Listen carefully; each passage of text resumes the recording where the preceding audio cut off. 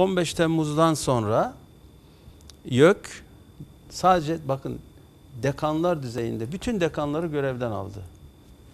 Ve atama yapılmadı galiba vekaleten. Arkasından Vekaleten bir iki istisna hariç tamamını tekrar iade etti. Fakat bu rektörler düzeyinde hiçbir şekilde söz konusu olmadı. Ama asıl kuşatma, asıl kuşatma maalesef, bakın feryat ediyorum. Bunu yetkililer lütfen işitsin.